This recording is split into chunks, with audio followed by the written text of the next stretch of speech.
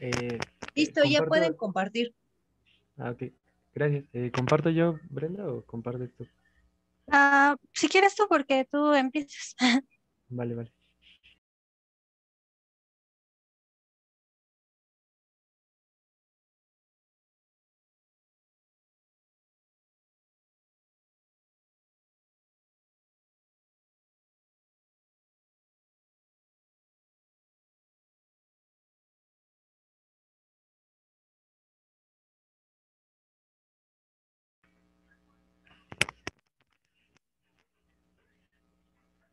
Ahí ya ven la presentación.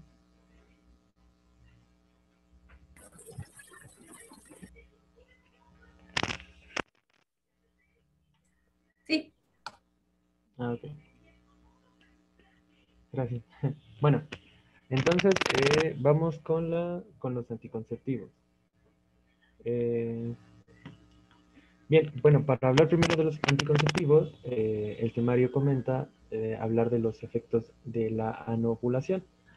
Bueno, ya mencionamos que la anovulación se da cuando no existe la ovulación durante el ciclo menstrual.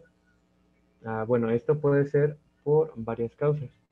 Para los métodos anticonceptivos, pues es esto eh, específicamente lo que se busca, que no exista una ovulación y así pues prevenir eh, un embarazo. Ok, eh, hablando de efectos fisiológicos que puede llegarse a presentar, pues solamente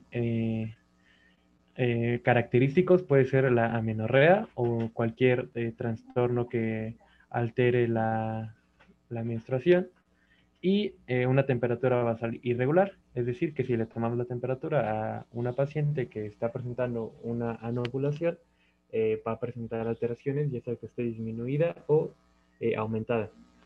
Bien, estos son un poco, digamos, no característicos, entonces a veces es difícil identificar cuando una paciente está presentando la anovulación.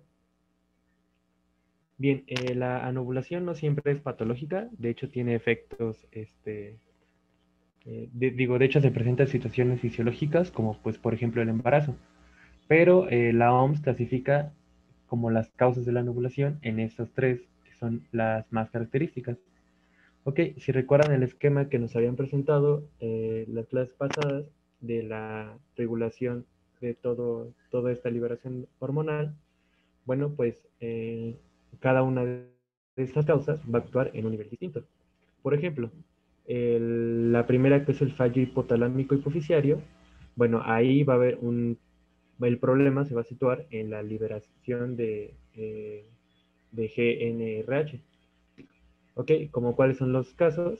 Bien, pues un hipogonadismo hipogonadotrópico, que eh, es cuando hay una disminución de esta hormona, la que les comentaba, eh, síndrome de Kalman, que eh, es un trastorno genético en el que hay una disminución de GNRH de igual manera, y algunas enfermedades sistémicas, como por ejemplo puede ser un fallo renal ya crónico, también puede provocar una disminución en esta hormona. También en, este, en este apartado o en este estadio engloban a otras causas como por ejemplo un ejercicio físico intenso, que también también puede provocar una anovulación. Ok, el segundo y el que más nos importa, porque es al que se enfocan los anticonceptivos, son las alteraciones hormonales.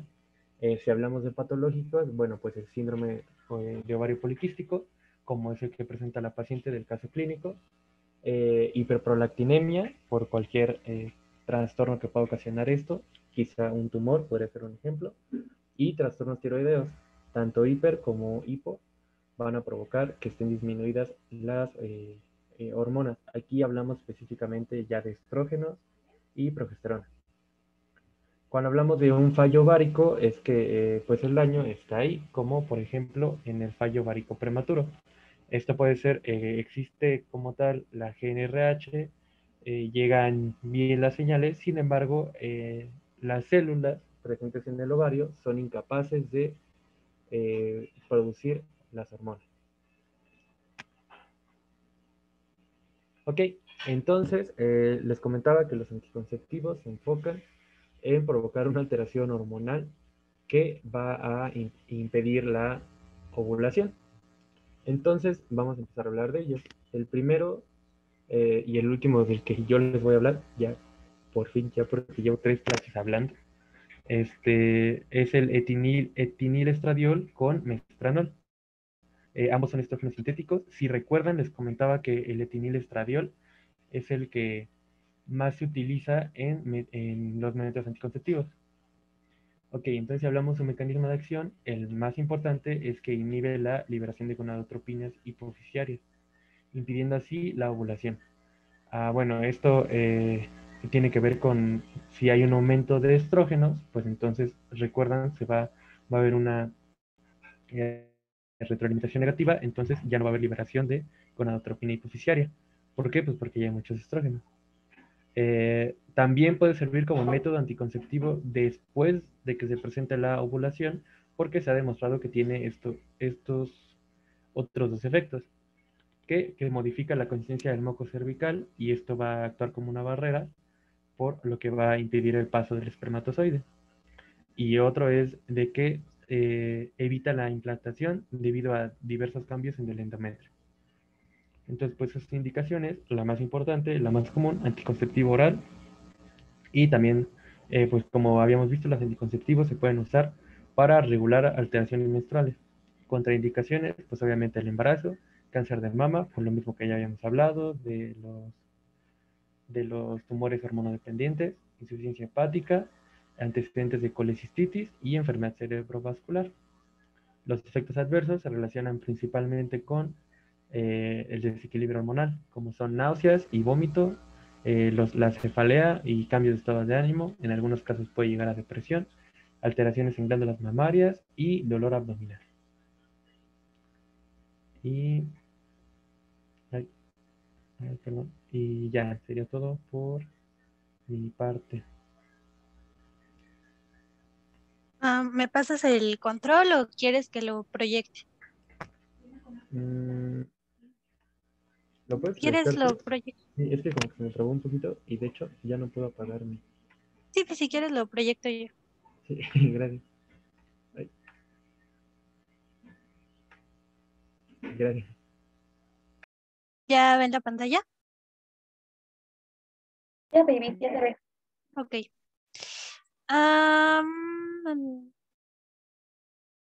ahí está. Este, ok, el siguiente grupo de anticonceptivos son las progestinas. Aquí tenemos a la noretindrona, que la vamos a ver más adelante, así que no se les olvide. Este es un anticonceptivo de progestina, va a prevenir la ovulación y va a inhibir la penetración de los espermatozoides espesando el moco cervical. Como previene la ovulación, pues va a reducir los picos de la hormona luteinizante a la mitad del ciclo y de la hormona estimulante de folículo, o sea, la FSH. También va a retrasar el movimiento del óvulo a través de las trompas y altera el revestimiento del endometrio. Esto del revestimiento del endometrio es muy importante porque se hablaremos de eso. Las indicaciones son anticoncepción oral, contraindicaciones, eh, como ya vieron, son bastante parecidas en casi todos eh, aquí de la terapia hormonal. Aquí en específico tenemos sangrado genital anormal o no diagnosticado, enfermedad hepática aguda por el metabolismo que hace, se tiene que metabolizar en el hígado, eh, también, este, también tumores hepáticos, benignos o malignos, por lo mismo del metabolismo que lleva a cabo la noretindrona.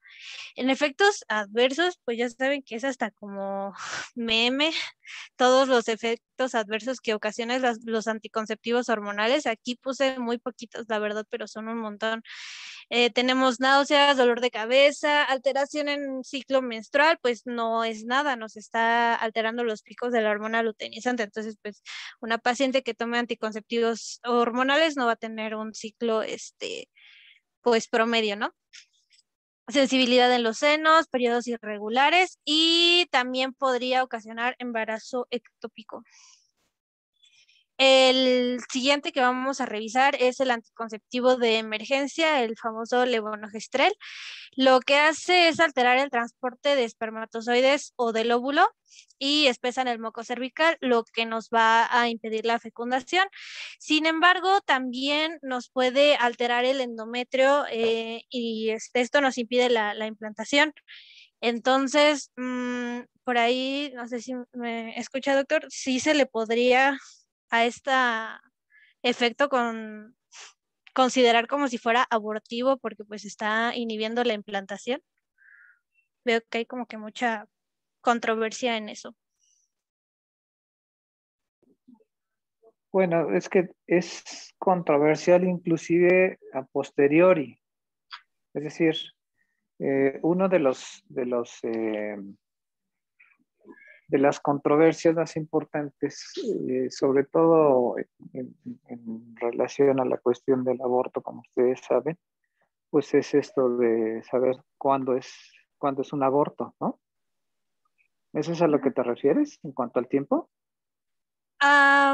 pues sí, porque bueno, alteraría el endometrio y impide la implantación del huevo, ¿no? Entonces, pues en sí ya hubo fecundación. Sí, aunque en realidad siguen siendo células, ¿no? Sí, bueno, es que hace poco eh, salió una chica que estudiaba medicina y que era provida y dijo que, que ella jamás le daría levonorgestrel a una paciente porque, porque eso era ya matar a una persona. Entonces, pues se me hizo muy, muy absurdo. Sí, claro, es, es que, por eso decía que es controversial, porque, digamos, nosotros debemos de pensar desde el punto de vista médico, no desde el punto de vista moral, porque cada quien tiene su forma de pensar diferente y hay que respetarla, ¿no? Pero desde el punto de vista médico, dos células no es un organismo, no es, no es, no es, no es una persona.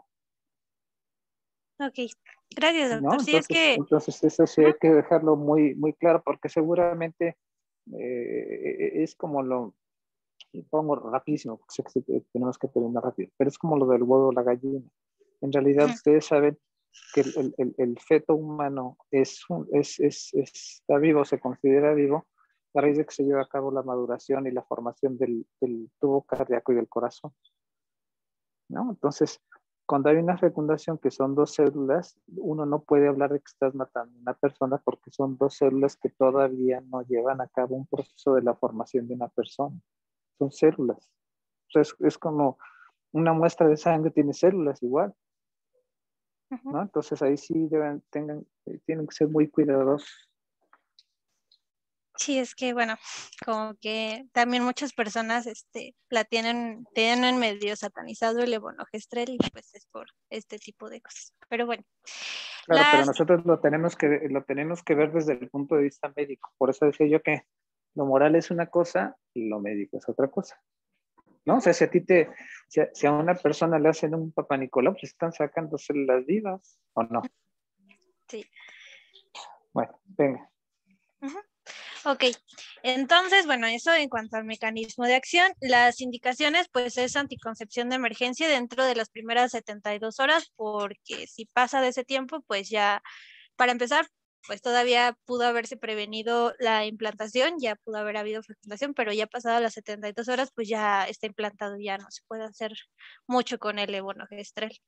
En contraindicaciones, otra vez, enfermedad hepática por el metabolismo, enfermedad pélvica inflamatoria, eh, embarazo conocido o sospechado, cervicitis o vaginitis, efectos adversos, dismenorrea, hemorragia uterina, hemorragia vaginal, mastalgia y retraso en la menstruación, que de hecho pues es lo que muchas pacientes les, cuando aparece este síntoma les preocupa porque piensan que no les sirvió la pastilla de emergencia, pero pues es realmente porque se está alterando todo el ciclo. Entonces, pues eso, si ustedes un día le indican eh, levonorgestrel a sus pacientes, como si nosotros, este, pues le tenemos que decir que esto puede ocurrir y que no se tiene que asustar.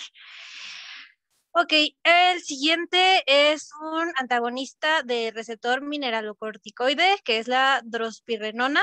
Esta nada más nos va a suprimir la ovulación. Las indicaciones este, es anticoncepción oral. Contraindicaciones, insuficiencia renal porque se elimina o se metaboliza por eh, los riñones, entonces pues por ahí tendremos problemas si el paciente padece de una insuficiencia renal. También presencia o antecedente de cáncer de cuello uterino, sangrado uterino anormal, les digo, son bastante parecidos en, unos entre otros efectos adversos, otra vez, que hay un montón, amenorrea, dismenorrea, sangrado vaginal, acné, sangrado intermenstrual, disminución de la libido, náusea, tromboembolia e hipercalemia. Con la tromboembolia creo que es con la que más hacen énfasis ya en esta parte de, de anticonceptivos porque pueden formarse este, trombos y pueden atentar contra la vida de las pacientes, entonces tienen que hacer un buen interrogatorio y conocer bien a su paciente. En el anticonceptivo combinado inyectable es el ciprionato de estradiol. Esta nos va a secretar, a modular la secreción de gonadotropinas, la LH y la FSH a través de la retroalimentación negativa. Es prácticamente lo mismo que nos comentaba Diego hace unos momentos y que ya habíamos visto con Jessica exactamente la semana pasada, de lo de la retroalimentación negativa, si por medio del de los estrógenos, pues si tenemos muchos estrógenos, entonces nuestro cuerpo lo va a tomar como que no necesita gonadotropinas. Es como que el mensaje que se van mandando. Y reducen los niveles de estas hormonas en mujeres posmenopáusicas, entonces también tenemos esa indicación. Este, la menopausia, el hipogonadismo femenino y la disforia de género, cuando un una chica trans está este, transicionando, también sirve para controlar la disforia. Mm, contraindicaciones, eh, la trombosis venosa profunda, como les comentaba hace un ratito, la neoplasia dependiente de estrógenos, sangrado genital anormal y enfermedad hepática. En efectos adversos los encontré divididos en comunes y menos comunes. En comunes eh, tenemos la hipertensión, edema, náuseas, vómitos, migraña. Y menos comunes el infarto de miocardio, tromboembolismo venoso, anafilaxia y antecedentes cerebrovascular o neoplasias. Entonces, pues ya este para los varones, que después son los que no, no no usan estos anticonceptivos se pueden dar una idea de lo que pues las usuarios de estos anticonceptivos hormonales tienen que pasar. los progestágenos, el estradiol y de acetato de combinado con diacetato de etionodiol es un anticonceptivo oral. Esta va a bloquear la ovulación mediante la supresión de las gonadotropinas. Aumenta la dificultad de entrada de espermatozoides, espesando el, moco cervical y reduce la posibilidad de implantación al provocar un cambio en el endometrio. Ahora, con esto de impedir la implantación, no vayan a pensar que por eso ya lo pueden tomar como anticonceptivo de emergencia. De hecho, en el artículo que leí, que si quieren se los puedo pasar, eh, decía que para que este efecto este, pues pueda ocurrir, tiene que estarse tomando de forma periódica, entonces pues no serviría tomarlo de emergencia. En indicaciones pues es la anticoncepción, contraindicaciones, carcinoma de mama conocido sospechado, carcinoma y carcinoma de órganos reproductores. Perdón intermenstrual irregular, hipertensión, tromboembolismo arterial, accidente cerebrovascular y dolor de cabeza. Desde nuevo ahí tenemos al tromboembolismo y si la paciente ya tiene antecedente de fenómenos tromboembólicos, no es, este, es una contraindicación para darle estos anticonceptivos. Mm, creo que ya este es el último. Los progestágenos, aquí tenemos a la noretisterona, es un progestágeno sintético y va a disminuir la producción de gonadotropinas, inhibiendo la maduración folicular y la ovulación. Este también disminuye niveles de ACTH y e hidrocortisona. Indicaciones, la menorrea secundaria y endometriosis, que es lo que Jessie les explicó este, la semana pasada en cuanto a la la patogenia del ovario poliquístico. Mm, en contraindicaciones tenemos cáncer de endometrio, de hígado, de mama, ictericia, ictus, síndrome de rotor, síndrome de Dubin-Johnson. Em, Efectos adversos, hemorragia vaginal, uterina, obligomenorrea, amenorrea, mastalgia, erupciones cutáneas, dolor torácico, tromboembolismo, hipertensión. Entonces, pues ya tenemos un catálogo gigantesco de todos los efectos adversos que ocasionan los, los este, anticonceptivos hormonales, así que pues es nuestro deber evaluar el riesgo-beneficio que implican para nuestras pacientes que acudan buscando planificación familiar, ¿no?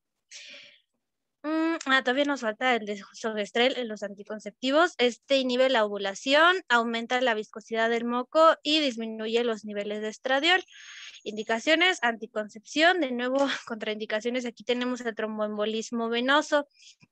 Ese sería el más destacable tumores este, dependientes de progestágeno, trastornos hepáticos graves, otra vez por el metabolismo, hemorragia vaginal no diagnosticada y efectos adversos. Todavía tenemos varios que ya hemos repetido, pero tenemos otros como los quistes ováricos, la galactorrea, la mastalgia, los vómitos, cefalea, náuseas, que son clásicos de los anticonceptivos hormonales. Entonces ya con eso terminaremos los anticonceptivos. Este, si tienen alguna duda, pues díganmelo porque le estoy metiendo velocidad, como dijo el doc. Pero cualquier cosa, pues me dicen, ¿ok? Em, supongo que ya no. Yo sí tengo una duda. Este, perdón, pero no es, de, no es de ningún grupo que acabas de comentar. O bueno, no sé si también sepas cómo funciona el basal gel o si ya está, ya se está en venta o algo por el estilo, pero no sé si el doc tenga otra información o tú inclusive, Brenda, si sepan mm, algo. Creo que no, no venía en los no, no viene. de fármacos. Ah, no, la verdad lo desconozco, doctor.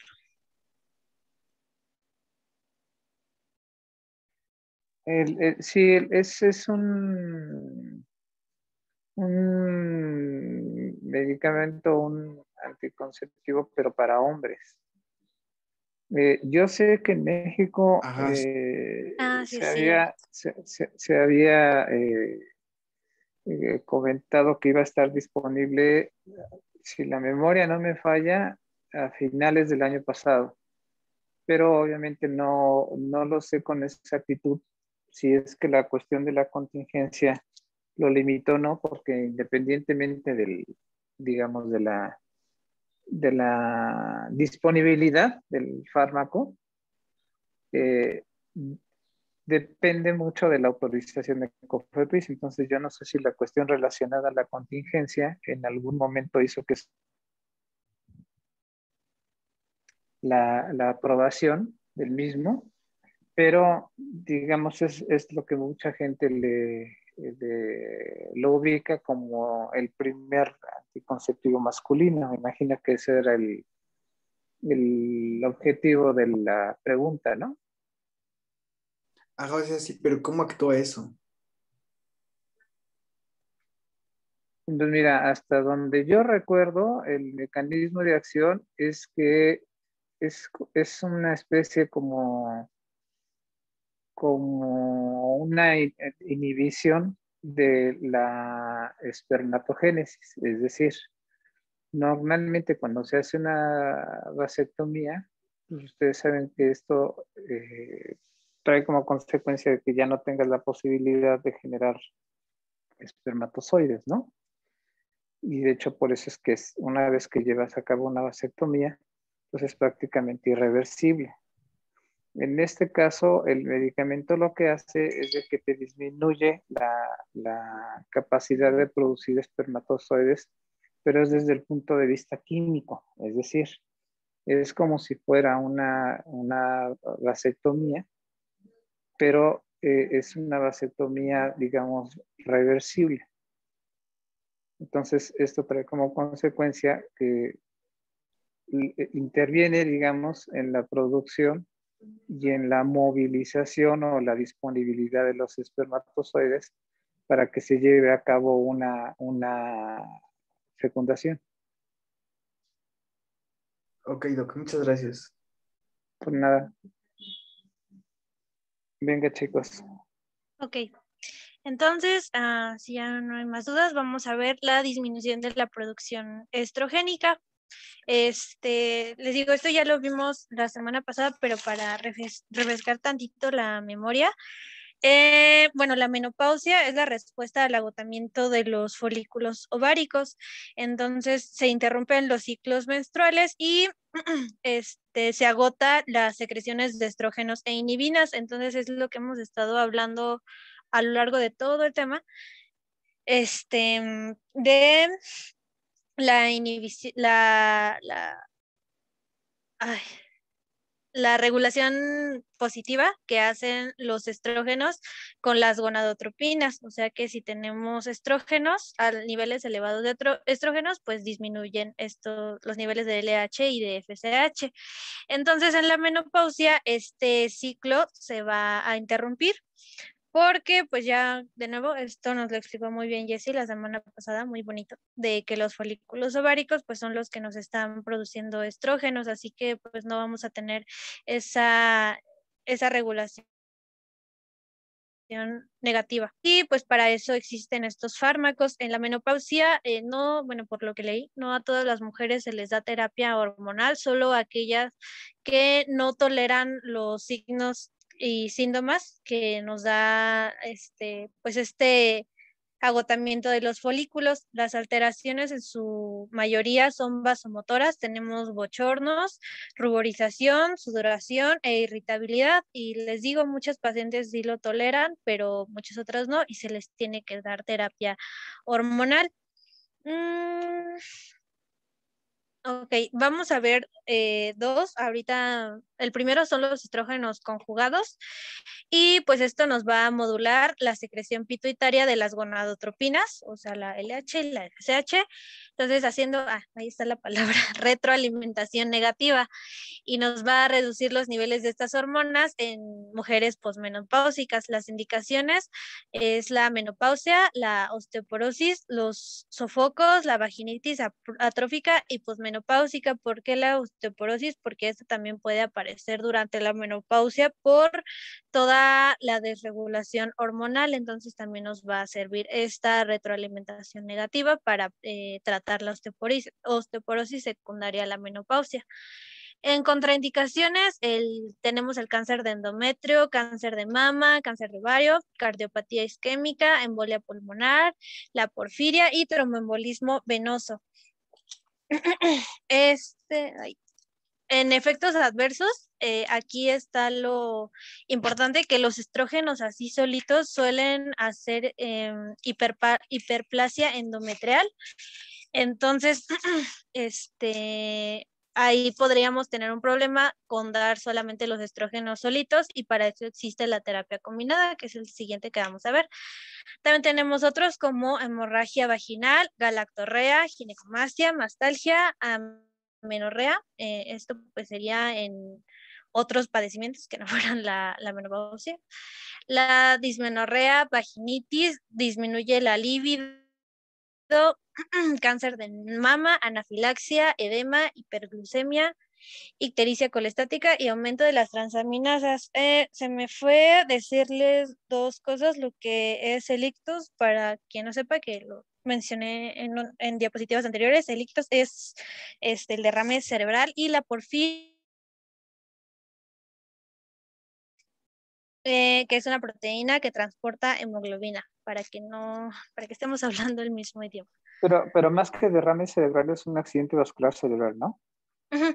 Accidente vascular cerebral. Sí, sí, sí, porque digamos derrame cerebral, pues es un término, sí lo, sí lo hemos escuchado, pero no es un término médico correcto. En cambio, cuando se habla de accidente vascular cerebral, ahí estás incluyendo desde lo que se conoce antes como déficit neurológico reversible hasta las hemorragias cerebrales, las embolias cerebrales o las trombosis cerebrales.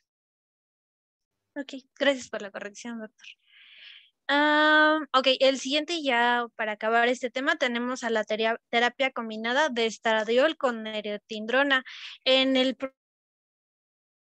programa nos hacen referencia a otros cuatro, que es estradiol con gestodeno, con drospirrenona y trimegestona, pero les juro que busqué en UpToDate, en Micromedex, en los libros, y lo único que encontré de terapia combinada fue con retindrona. Así que, pues espero que este les sirva para entender cómo funcionan las terapias combinadas, que es... El mecanismo de acción, perdón, la interrupción es rápido, no, no importa que no lo encuentre, el mecanismo de acción es similar, la única diferencia es la potencialidad que tiene no de tener efectos androgénicos secundarios, pero prácticamente el mecanismo de acción es, es igual, no se preocupen. Ah, ok, bien. Entonces, bueno, ya hablamos de cómo funcionan los estrógenos, que pues esta retroalimentación negativa, ¿no? Entonces, ¿qué papel juega aquí la noretindrona, que quedamos que era una progestina? Pues esta nos va a ayudar a reducir la incidencia de hiperplasia endometrial, que quedamos que era uno de los efectos adversos, y el riesgo de cáncer de endometrio por esta secundaria o esta hiperplasia. Entonces, este, para esto sirve la terapia combinada y eso pues ya lo tendremos que evaluar de acuerdo a los antecedentes de, la paciente, de acuerdo a las características de su útero. Creo que también tiene que ver el número de gestas, pero pues ahí ya este, me estaría desviando un poquito. En, indicaciones, pues son en sí anticonceptivos orales combinados la y terapia combinada en la menopausia. Contraindicaciones, el sangrado endometrial no diagnosticado, em, enfermedad tromboembólica, cáncer de mama, insuficiencia hepática y en efectos adversos tenemos este edema, dolor de cabeza y nostalgia, como les comenté ya muchas veces, casi todos lo, la terapia hormonal, si se dieron cuenta, comparten todos los, este, todos estos efectos adversos, algunos tienen unos, algunos tienen otros, pero ya se pueden ir haciendo mentalmente una lista de todo lo que provoca la terapia hormonal. Ah, se me fue por aquí, la trombosis venosa profunda, ¿sale? Entonces también les digo, tienen que evaluar si su paciente eh, ah, tiene antecedentes de eventos trombóticos porque es una contraindicación muy importante en cuanto a terapia hormonal. Hablamos. Y mm, ya sería todo de nuestra parte.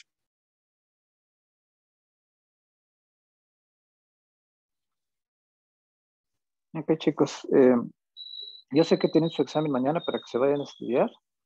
Eh, nada más compártanme, por favor, si tienen el caso clínico de la siguiente sesión. Y... Doctor, se lo envié desde la semana pasada. Ah, ok, ok. Perdón, entonces yo no le, no le he revisado. ¿Me recuerdas el tema? Es epilepsia. Ok, ok. Entonces, eh, como tienen su examen mañana de pato, nos vemos entonces el miércoles. Sí, doctor, gracias. Muchas gracias. Muchas gracias. Gracias, doctor. Suerte en su examen, cuídense, que tengan buena tarde. Gracias, doctor. Gracias, bye. Gracias, doctor. Hasta luego.